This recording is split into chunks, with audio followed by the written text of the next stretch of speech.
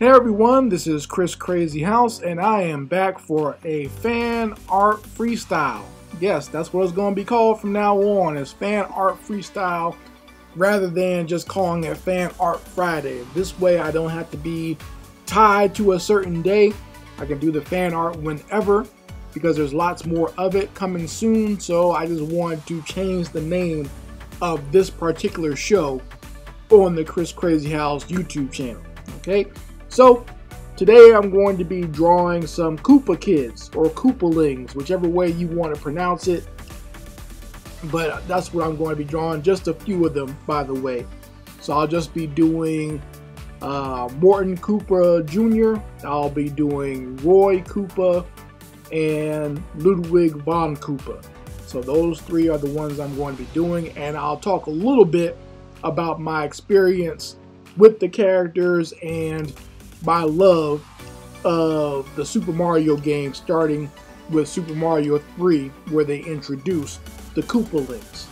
So we're going to be talking about that. Before I get started, let me just say, if you are not subscribed to this Chris Crazy House YouTube channel, please do so.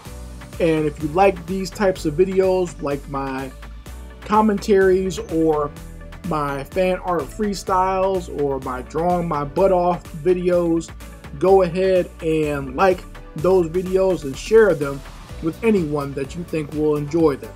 If you want some more artwork, original artwork that you can download from me, you can go do that on my Chris Crazy House Patreon. It is only five bucks a month to get started.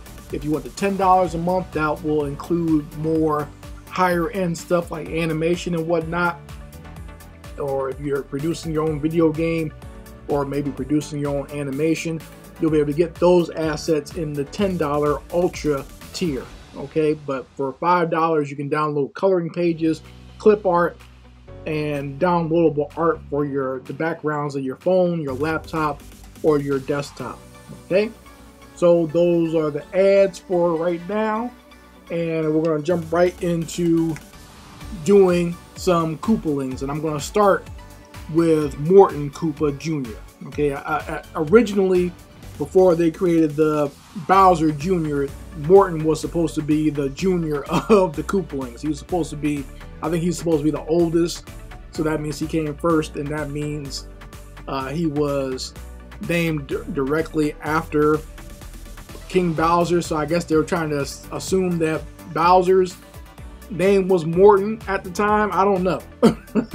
it's, it's weird how they came up with these names anyway for the kids because many of them were they're all named after different you know music stars. You know roy koopa is named after roy orbison.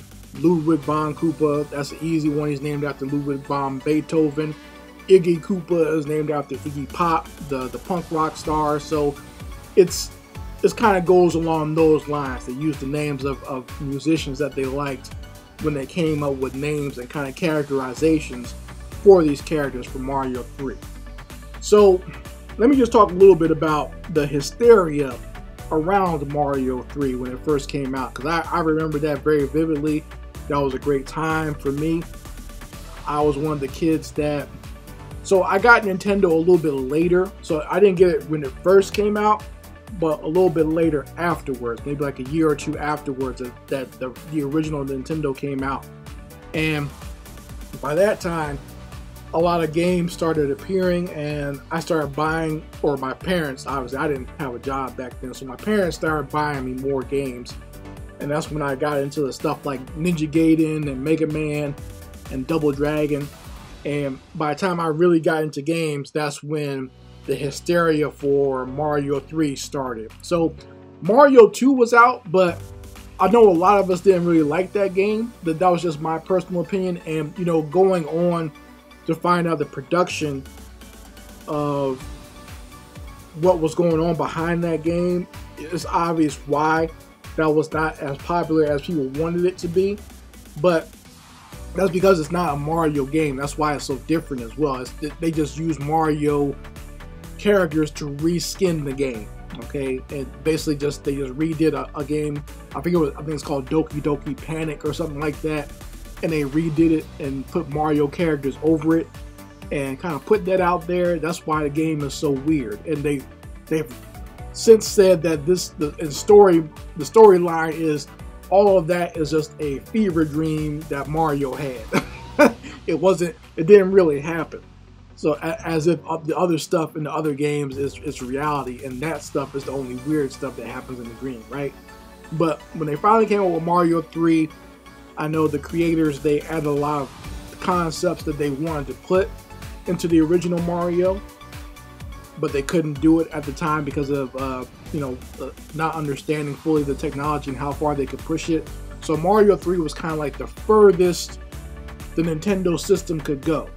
This is before they, they jumped over to Super Nintendo and going into, you know, the 16-bit realm. But Mario 3 was kind of like the pinnacle of what you could accomplish with the Nintendo Entertainment System, the original system. So this was a great game. It had a lot of stuff on there. I remember playing it a lot by myself, but also playing it a lot with friends. Like this is a game that was very community driven. This was before the age of the internet where we could find out where to go and what the secrets were in the game. We had to kind of communicate with each other and we would all play overnight or during the afternoon after school and then we come to school the next day and discuss this is where you go, this is what you do. I remember drawing little diagrams for people. I remember, you know, sitting talking to my friends on the phone when I could about where to go in certain parts of the game to get to the secrets or get the whistle and whatnot. So there was just a lot going on with that game. And one of the unique things about it is you weren't just fighting the same dragon king monster at the end of each level. You were actually fighting different ones. They introduced his children. So these are all supposedly supposed to be originally uh, Bowser's children. And there are some little badass kids, basically. I, I, say that with, with all love. That's basically what they were. Just some really bad, bad little kids that you had to face. They had all stolen different uh, magic wands from all the different kingdoms in the Mushroom Kingdom and turned the kings into different weird animals or whatever, and you had to change them back by jumping on their airships that they had and taking those keys, not the keys, but magic wands away from them. So just like I said, the, the game was just very fun. I like I said, I remember playing a lot of it. I remember just playing it by myself when it was like it was in the afternoon. I'd be home from school. My grandfather worked at night, so he would just leave for work, and my grandmother would be like taking a nap or something like that, and I would kind of sit and play the game for maybe like an hour uh, before it was dinner time. So that I pretty much got a lot of gameplay and game time with Mario 3 and I, there were times where I just played it just for fun. It wasn't I wasn't trying to beat it. I had already beat it, but I just wanted to sit there and play it because I just enjoyed finding new secrets, but also just looking at the game. I thought was a beautiful looking game at the time. I felt the same way about the Mega Man games. You know, that's when back when you thought that that was as far as the technology was going to go in your little childlike middle school mind. you didn't think technology was going to go too much further with video games. You thought this is the best it's going to be. And of course, it's going way beyond that now, but back then you were just happy to play something you thought was so advanced, just what you were looking at on screen. But just hours of fun, I remember playing those. And, you know, sitting here now as an adult, it's fun like replaying some of those games. Like I have a retro system here at the house, and I play these games with my daughter, and she's kind of gotten into Mario over the last couple of years. Mostly, she likes the 3D games, obviously. Like she likes Mario Kart, Mario Party, and like Mario 3D World and Mario Maker and stuff like that, where you can make your own game. So she loves stuff like that. But you know, she knows where all the original characters came from, and she does like the the Koopalings. That's one of the main reasons I'm even doing this is because she wanted me to draw some of these characters for her because she saw me drawing some of the Mega Man villains uh, not too long ago. So she said, "Can you draw some of the Mario ones for me?" And I said, "Sure, why not?" If she likes it, it makes her happy, makes her laugh for a little bit, why not? You know, I'm all about making the kids happy. So that's why one of the main reasons I'm drawing these three characters. And, and you know, these three are my favorite from the game. You didn't really get to them until a little bit later in the game. First, you had to fight like the little Koopalings with the crazy hair, and then you fight these ones. These ones a little bit older. But uh, you know, I always liked the design, especially Roy. I always thought he was a, a cool looking character, just period. The fact that he has the shades and you know the, the, the purple purple shell and like the pink going on there. He's kind of looks like a, a, a late 80s, early 90s uh, pro wrestler the way he's dressed. Like this is basically the color scheme that Bret Hart had back in the day when he was like the champion. But uh, but yeah, that that's that's why I enjoyed about it. I, I enjoy the look of people like the characters like Morton and, and Ludwig. I remember drawing them when I was younger because back then they used to have the Super Mario cartoons as well as like coloring books and stuff like that. So I remember duplicating a lot of that artwork and trying to learn how to draw these characters back then. I would always love getting the little strategy guides or little booklet that the games came with because I could look at those and they would have the main characters in there and you can draw. You could just use that to practice drawing the character. So of course I did that a lot with a lot of the games. I still have some of those little booklets around here in the house somewhere. I saved them just because I, I enjoyed the artwork in them so much.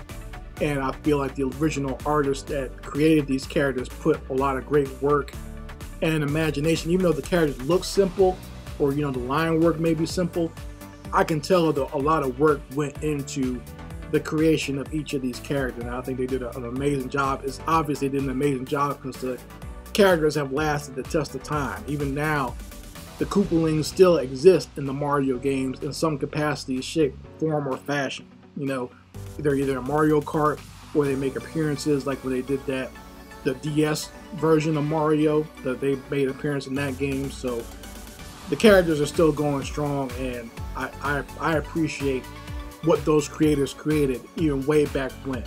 So I hope you enjoyed this video. I hope you enjoyed seeing me draw these Koopalings. You tell me, you know, let me know what you think in the comment section, or if you want to tell a story about your experience with Mario 3 or growing up playing the original Nintendo, please do so. I'd love to hear it.